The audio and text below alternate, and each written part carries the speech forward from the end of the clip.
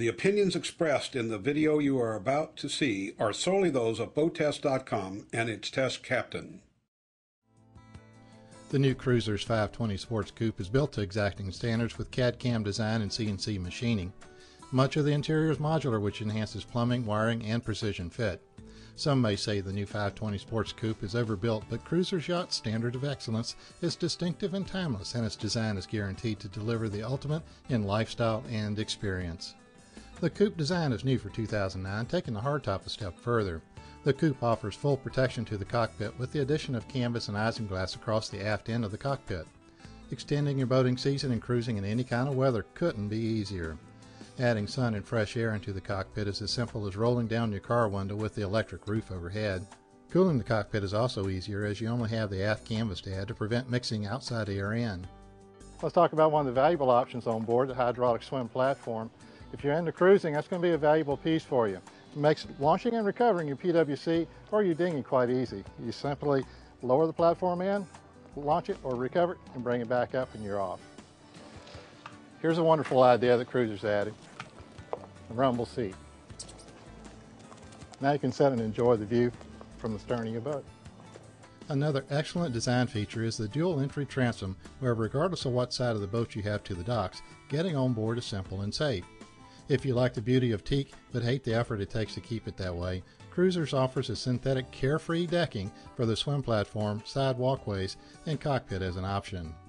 Save your strength for more important details as this yacht has a standard Maxwell windlass with anchor roller and anchor along with 180 feet of 3/8 chain to keep you in position while you party. Cruiser shows design savvy with the flexible aft cockpit seating. With the simple flip of the switch, the aft bench can swing to port and complete a large U-shaped bench complete with electric high-low table of high-gloss cherry. Serve delectable bites from the cockpit galley and never have to go below away from conversations. This galley includes a standard force 10 electric grill, Vitrifrigo stainless steel refrigerator, and separate ice maker, and plenty of room to be creative. Forward seating includes a companion lounge and a custom double wide helm captain's seat with bolster. Go ahead, pamper yourself with the electric seat option for full adjustability and comfort. Cruisers chose to move the walkthrough over to port side, which I believe will be popular with some. I found it a little cramped to get through. The best design I've seen was on her little sister, the 420, with a center walkthrough that was wide open with the retractable top open. I'm down in the engine compartment of the 520 Sport Coupe. Now this has the triple IPS 600s. The standard engine is the D12. What you'll notice is the layout is very well thought through. I'm setting on one of the battery boxes. There's another battery box on the other side. The cameraman setting on the uh, diesel generator. We have our water box over here for our air conditioners. You'll see the walls got everything labeled very well. But notice how you can get around all the way around the engines. You can absolutely get to everything on the engine. You could probably do an in-frame rebuild on these engines right here in this space. The triple 435 horsepower Volvo Penta IPS D6 pod system allows us a chance to compare it to how it ran with twin inboard 715 horsepower Volvo Penta D12s before. With IPS, everyone will be able to take the helm even when docking. In the salon, Cruiser's done a lot of things right, and you would expect that in a boat that holds its value like Cruiser's does. Interior height is also very important for comfort, and we go to the bottom of the steps, and we've got 83 inches, quite nice. And at the lowest point, getting over here by the galley, we've got 82 inches to 81 inches. So we've got a lot of interior height that's going to make you feel much more comfortable. It also opens up the space. Another thing that opens up space is they've taken advantage of the near vertical portals on here. We've got six in the salon. We've got six more in the, in the VIP stateroom. The Flexsteel sleeper sofa is very comfortable. With nearly 150 inches of horizontal seating space, the whole party can have a seat. The galley is roomy, joinery is beautiful with matching grains.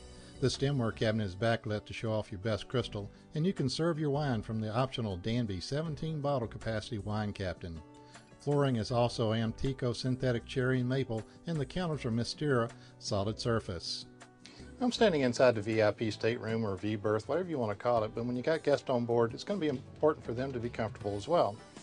Here in the doorway, I've got about 74 inches of vertical height, and that carries back to the end of the bed, so I can stand here and change with the door closed and not feel like I'm really enclosed into space and real tight. The door does swing out into the salon, has magnetic catch. I like that a lot. You'll find in the head you got about 75 inches of overhead space all the way into the shower, which is enclosed and drains nicely toward the drain. Take a look at this as well. It's a dual entry head, so you have a day head entry as well as a guest room entry. The 520 Sports Coupe measures 54 feet 3.5 inches with the optional hydraulic swim platform and a beam of 15 feet 6 inches. She draws 44 inches and has a fuel capacity of 500 gallons. She has a solid fiberglass hull below the waterline and balsa core hull sides and deck. Around the through hulls, the balsa core is relieved and all fittings through the deck have aluminum backing plates laminated in. Cruiser's naval design and distribution of weight and balance deliver a smoother ride and more stability at rest. Drivability at the docks is incredibly simple with the triple IPS option. The 520 Sports Coupe has about 15 degrees of bow rise and about 3 degrees running angle. Visibility from the helm is good, although looking aft from the helm I did find there were some vision obstructions from the mullions and hardtop structure at the aft end of the cockpit. The Volvo Penta IPS drives had her up on plane in just 7.7 seconds and running 30 miles per hour in 9.5. Her top speed was 41.5 miles an hour and her best cruising speed was 22.5 miles per hour. At top speed, she burned 63 gallons per hour, and at cruising speed, she burned 23.4 gallons per hour. Compared to a prior test I did on the 520 with the twin 715 horsepower Volvo Penta D12 diesels, this model with IPS is 8% faster and 21% more efficient at top end. At cruising speed, she is still able to cruise 19% slower and is 39% more efficient at cruise, delivering 38 miles more at best cruise. In effect, you're rolling back the fuel pumps to prices you haven't seen for quite some time. When you consider the value versus cost on the 520 Sport Cruiser, consider this. Many builders in her class right now are building boats from 17 feet on up.